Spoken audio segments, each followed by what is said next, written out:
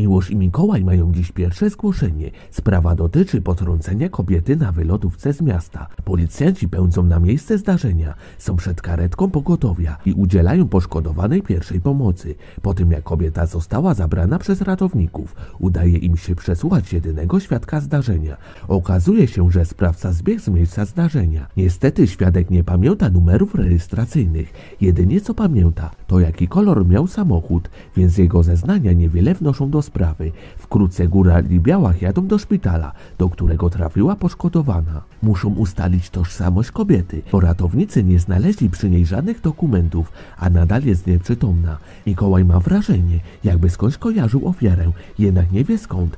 Podczas powrotu na komendę przypomina sobie skąd ją kojarzy. Okazuje się, że to znana aktorka, a kojarzy ją z artykułu na jednym z portali plotkarskich. W końcu śledztwo ruszyło. Mimoż widzi, że coś gryzie jego przyjaciela i jest w dość kiepskim nastroju. Pyta go się, co się stało. Jednak Białach nie chce zbytnio o tym rozmawiać, aczkolwiek pod naciskiem przyjaciela przyznaje, że przegrał dość sporą ilość pieniędzy w kasynie, do którego w ostatnim czasie dość często zaglądał. Miłosz nie wierzy w to, co słyszy.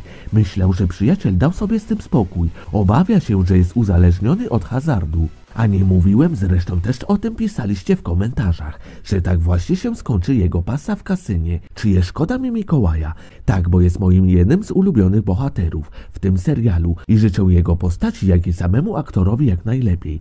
Ciekawi mnie, co dalej będzie. Czy będzie próbować się odegrać? Jeśli tak, to znaczy, że na tym już nie panuje. Moim zdaniem on już jest uzależniony od hazardu, a jeśli oleje temat i nie pójdzie do kasyna, to za przeproszeniem zamknie mi gębę i to odszczekam przy najbliższym najbliższym filmie o Mikołaju. Jednak myślę, że będzie próbować się odegrać, skoro tyle kasy tam przepuścił. Daj koniecznie znać w komentarzu. A jak ty uważasz, czy Mikołaj będzie próbować się odegrać?